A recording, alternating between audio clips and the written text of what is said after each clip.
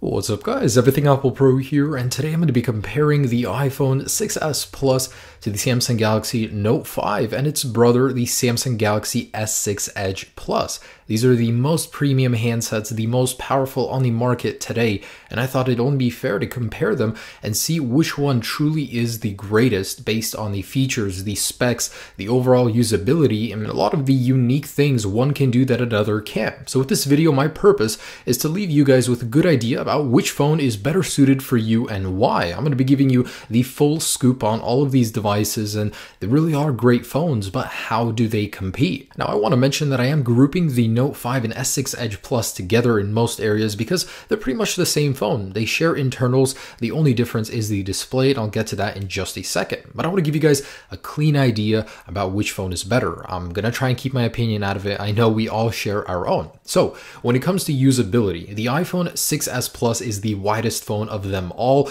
while maintaining the smallest display. It's a bit difficult to use with one hand, even reachability doesn't help that much. However, Apple did improve the texture of the outside shell, so it's a little grippier, although I'd be scared to use it without a case. Now, the S6 Edge Plus with that dual edge display gives you something to grab onto, although it's still slippery. The Note 5, however, is the most comfortable phone here. That curved back fits in the palm of your hand very well, allowing you to use the screen with one hand very easily, especially when you consider those software features like picture in picture and multitasking, and you can actually scale the entire display down to the hand at which you're using. So it can be very convenient to use with one hand. Comfort wise, the Note 5 takes the cake here. Now, Samsung really did step up the design. When it comes to clean looks, though, the iPhone 6s Plus has less logos and no more FCC labels branded on the back, but Samsung really has come a long way. The last Note had a lot of plastic and fake leather on it, which gave it a cheapish look and is definitely looking so much more premium now. Now, between the Note 5 and S6 Edge Plus, there's not much that's different, but of course, the design overall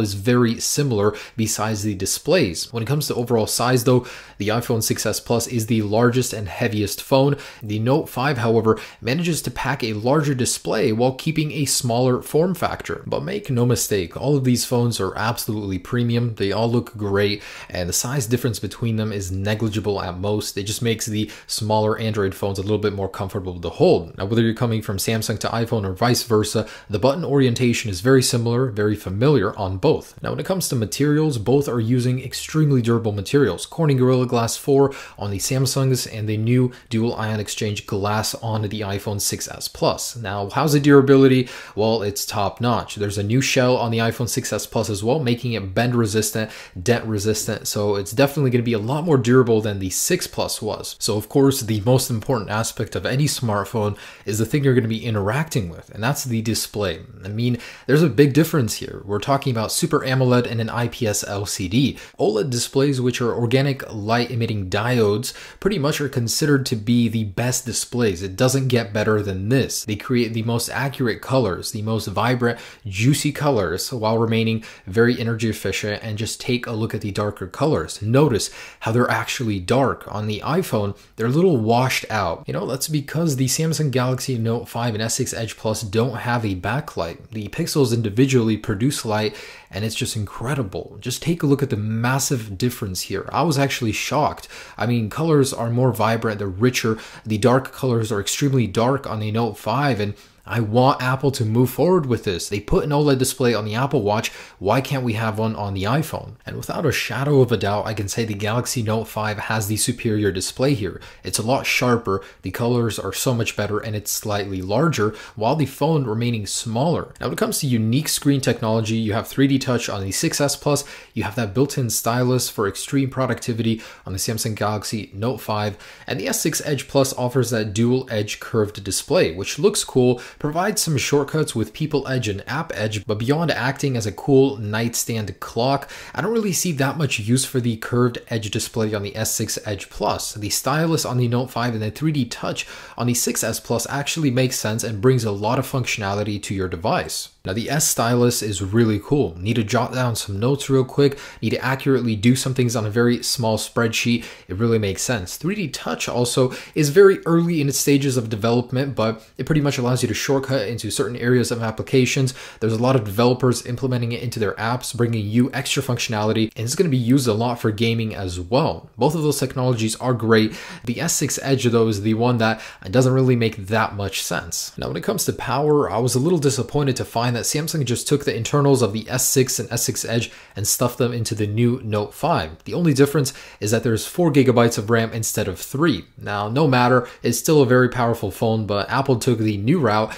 and they added completely new internals. So you have 1.8 gigahertz dual core, 64 bit of course with the new 14 nanometer construction. Some iPhone 6s Pluses are shipping with 16 nanometer construction due to different suppliers. Also, there's 2 gigabytes of RAM now, and man is this thing powerful. So I fired up a Geekbench and here are the scores. I was very surprised to find that the iPhone 6s Plus kept up very well and overtook the Note 5 and S6 Edge Plus in the single core score. That's considering this thing has half the RAM and the actual Note 5 and S6 Edge Plus have four times the cores of the iPhone 6s Plus. That is very impressive when you consider it this way. So next step, I did a GPU test to get a graphical performance. A lot of us are going to be using this for gaming, very intensive stuff, so graphical performance is very important. So I did run GFX Bench 3.1 on all of these, the iPhone 6s Plus finished considerably faster, and boy, was there a difference. I mean, it wasn't as big as the difference between the 6s and Galaxy S6, but it is a considerable difference. In every single test, the iPhone 6s Plus did better, although the Note 5 and S6 Edge Plus aren't too far behind. So when it comes to processing power, the iPhone 6s Plus wins in the single core score, multi-core score goes to the Note 5 and S6 Edge Plus. When it comes to gaming graphical performance, the iPhone 6s Plus smokes both of these. And when launching games, I noticed that the iPhone 6s Plus was always considerably faster loading them. So wireless, both of these are very similar. Both support the newest MIMO standard. However, the iPhone 6s Plus has higher cap for the Wi-Fi. When it comes to LTE, the Note 5 has a new Cat 9 LTE chip, which is future-proofed. It's capable of up to 450 megabit download speed over LTE. The iPhone 6s Plus, however, has 23 LTE bands, making a better international phone. Bluetooth 4.2 is standard on both of these. And after running an HTML5 compatibility score, the Note 5 does have the superior browser, which means you're going to have a better overall experience browsing with the Note 5. Now, something important to me to consider when buying any phone is the speaker. All of these do unfortunately have the same speaker placement, so it really is going to interfere while using it for gaming or video if you hold it like this. I also did measure the decibel output of the speaker and the device with the highest output is the Galaxy Note 5. It also does sound the best. It's a very boomy, loud noise, so it fills the room while maintaining great quality. Now I tested the speed of both fingerprint sensors and the iPhone 6s Plus is much more accurate, whereas the Note 5 is just barely faster when it works. I mean, it takes a lot to get an accurate reading. Now the vibration motor on both of these is completely different. The new Taptic engine on the iPhone 6s Plus is quite cool. It's a very solid, reassuring feeling, and it's very fast and responsive. I love the haptic feedback on the keyboard on the Note 5 though. And here we are at battery life, an important factor in any smartphone, of course.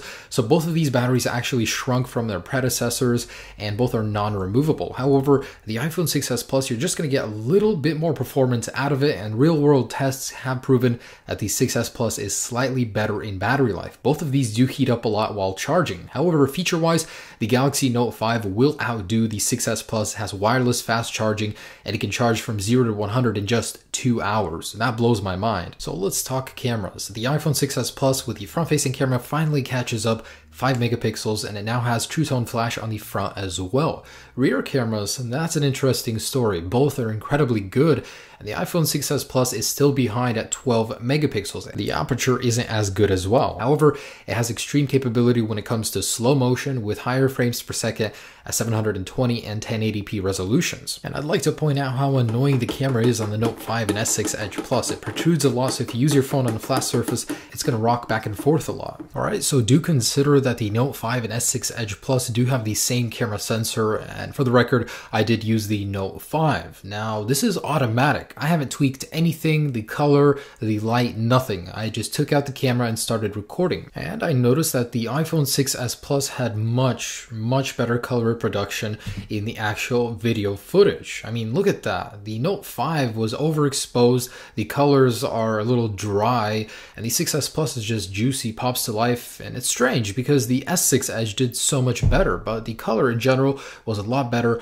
on the iPhone 6s Plus. Now, the one area where the iPhone 6s Plus shined is the video image stabilization. So this is a unique feature Apple added. It differs from the 6 Plus. It's the video stabilization whereas the Note 5 just has optical image stabilization. You won't see it while recording video. Notice how it's so much more stable while walking. If your hands shake, you'll notice that the video will be so much more stable on the iPhone 6s Plus, especially if you blow it up on a larger screen. I mean, I was very impressed with just how stable it was. Now, when it gets to photos, that's a different story. Both have fantastic photo capabilities, although I wonder why iPhone is still stuck on that format, 3 to 4. It can be annoying because sometimes it's nice to have those widescreen photos. Mm, the Galaxy Note 5 has a wider lens in general. The front facing one as well, it is a wider angle so you'll capture more. The quality though is slightly better on the Note 5 for front facing. And let's not forget slow motion. The iPhone 6s Plus does it so much better and paired with that video image stabilization, you can really get some nice slow motion shots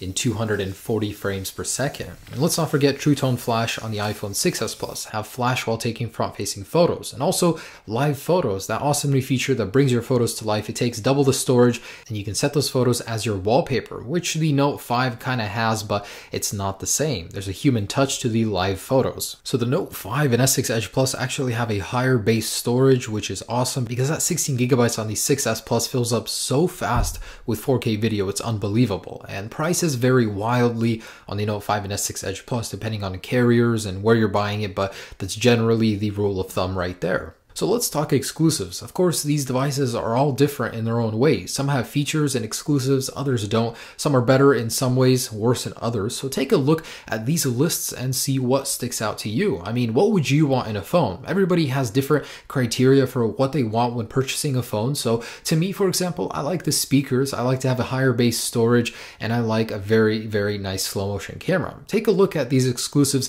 and see what sticks out to you, why you would want to buy one phone over the other. There's no one rule for all. I mean, it really depends on what you need out of a phone. And when it comes to offerings, the Samsung Galaxy S6 Edge Plus has the least amount to offer. The Samsung Galaxy Note 5 and iPhone 6s Plus are the two top dogs here. I mean, Samsung really has caught up in terms of materials. The phone feels very premium. Apple has created a very amazing phone. They've improved upon their 6 Plus and all around, both of these phones are amazing. I'm very impressed with both companies. Samsung and Apple, they've created amazing products here. So which is the one to buy? Well, it depends. I mean, what do you currently have and what are you looking for? Hopefully with this video, I have shown you at least what you might be looking out for in these smartphones. There's a lot each has to offer feature-wise, you know, unique features that the other smartphone doesn't have. And hopefully with this video, I made that more clear. I know it can be so confusing choosing between phones. I mean, every single one is so good, but they're all marketed differently. They all have different things they can do. And thanks for watching this video, guys. I really do appreciate it. If you could, this was a very difficult video to make. Like this video down below. Leave a comment. Let me know what you think, which phone you're going with, and why. And have a great day, guys. Peace.